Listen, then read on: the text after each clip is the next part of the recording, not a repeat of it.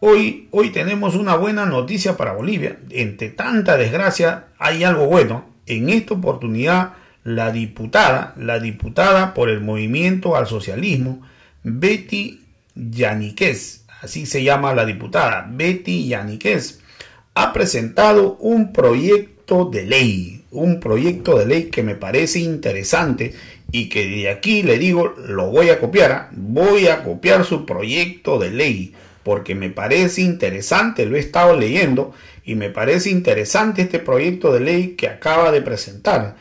Pero ¿por qué es tan interesante este proyecto de ley? Porque en este proyecto de ley se está pretendiendo reducir los salarios de los altos funcionarios y me parece excelente. ¿Y cuánto va, plantean reducir? El 50%. Aquí quiero ver, ¿ah? Acá quiero ver quiénes realmente quieren a Bolivia. Pienso yo que esto debió haber sido liderado por la misma dictadora si tenía algún cariño por Bolivia. Pero lo ha presentado la diputada y ella, y me parece excelente, bien lo dice en su proyecto de ley, lo primero que debe reducir el sueldo, el 50% a todos los diputados. Me parece excelente. De ahí reducirle los sueldos a los senadores, reducirle el sueldo también al 50% de la dictadora, reducirle el sueldo a todos los altos cargos de los altos mandos militares, a los del Ministerio Público, a los ministros sinvergüenza de, de la dictadora, a todos sus ministros, a todos los directores de rangos cargos, el Tribunal Supremo eh, Constitucional, el Tribunal Supremo Electoral, de ahí al Ministerio Público, a los gobernadores departamentales, a los alcaldes y concejales y a todos los funcionarios de rangos intermedios. Esto me parece excelente, señora diputada. Yo creo que en realidad esto va a servir para crear un fondo para poder apoyar a la gente que tanto lo necesita. Pero considero que su proyecto de ley no solo es importante para Bolivia, sino creo que esto de aquí lo vamos a tocar también aquí en el Perú, porque en realidad considero que los funcionarios aquí en el Perú están ganando demasiado, ganan como si estuvieran en Europa. Y en realidad tenemos que reducir porque hoy son los únicos. ¿ah? El pueblo que trabaja en los negocios, que trabaja en los campos, que trabaja en el transporte, no pueden laborar y no tienen que llevar un pan a sus hijos. Pero los funcionarios y estos tipos que ganan un montón de dinero, ellos pues tranquilos están ganando. Están en su casa, pero siguen ganando. Y el pueblo, entonces considero, y este proyecto de ley, lógicamente, ha sido presentado, eh, se va, va a tener validez eh, durante, durante eh, todo el tiempo que, que, dure ¿no? la emergencia. Y ojalá Ojalá, seguro que esto se va a ver en este transcurso de esta semana que viene, entre, entre martes y miércoles. Y ojalá, pues en realidad, eh, ya que el movimiento al socialismo tiene, eh, tiene mayoría, tiene mayoría tanto en, en, la sala de diputados y en la sala de senadores, entonces yo creo que esto, esto va a ser aprobado. Y creo que es importante por la salud, creo que es importante hoy que Bolivia tanta falta le hace de presupuesto.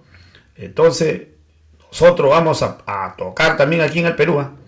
Nosotros vamos a tocar el día de hoy mismo, el día de hoy. El día de hoy me voy a comunicar con varios congresistas amigos que tenemos aquí en el Perú y voy a conversar directamente con ellos. ¿ah? Voy a conversar directamente con ellos para que esta propuesta sea también y se elabore un proyecto de ley y pueda ser presentado en esta semana mismo que viene aquí en el Perú. Me parece interesante y llegó la hora, llegó la hora de que todos se desprendan de algo para apoyar a la gente que menos tiene en cada uno de nuestros países. Desde aquí felicitaciones, Betty y Aniquez. Me parece muy importante y acertado. Y ojalá, ojalá sean pues los funcionarios públicos, los ministros, los alcaldes, los concejales, sean realmente los que tienen que dar el ejemplo.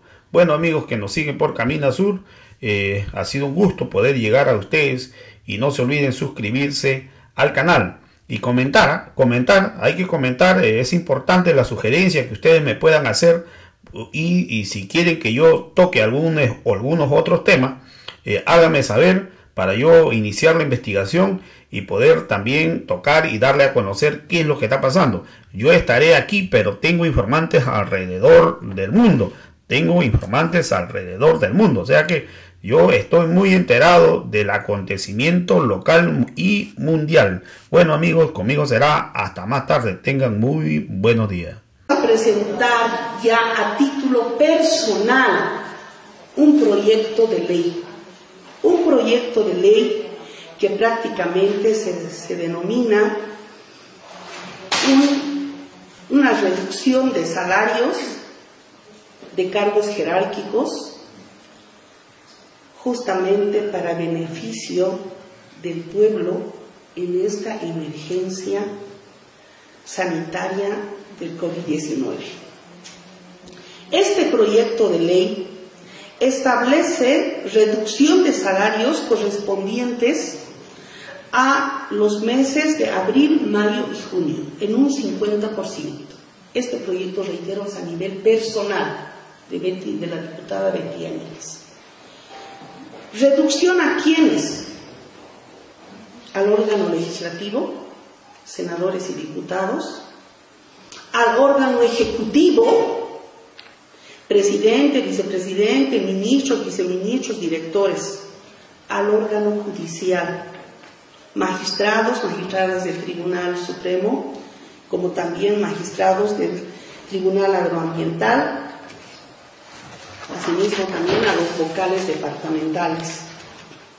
Tribunal Constitucional, magistrados y magistradas, la Contraloría General del Estado, a los contralores, subcontralores, al órgano electoral, ellos también tienen que, tendrían que recibir la reducción en cuanto a su sueldo, al Ministerio Público, al Fiscal General y también los fiscales departamentales, Defensoría del Pueblo, Procuraduría General del Estado, contando al procurador, y también a nivel departamental a gobernadores y asambleístas departamentales.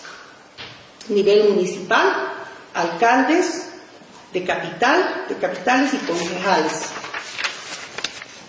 Haciendo notar que justamente los recursos económicos serán destinados a un fondo que se denominaría Fondo del Pueblo para enfrentar el COVID-19. Que los recursos económicos provenientes de pasajes aéreos, terrestres y viáticos no utilizados de estas instituciones durante la cuarentena serán destinados al Fondo del Pueblo. El Fondo del Pueblo será destinado única y exclusivamente a temas de salud, asistencia social para nuestra gente. Este fondo será administrado por representantes de los órganos legislativo, ejecutivo y judicial, a fin de que los mismos cumplan el cometido para el cual se hizo el proyecto. Asimismo, este proyecto debe beneficiar a familias humildes que viven el día al día, que no se benefician con el bono familiar ni con el bono de la canasta familiar, pero que necesitan apoyo para sobrellevar la cuarentena por la emergencia del coronavirus. Hermanos y hermanas bolivianas, unidos, solidarios, entre todos vamos a enfrentar y vamos a vencer al COVID-19. Yo creo que tenemos que cumplir a cabalidad con las recomendaciones de la Organización Mundial de la Salud, tanto por autoridades como por el pueblo.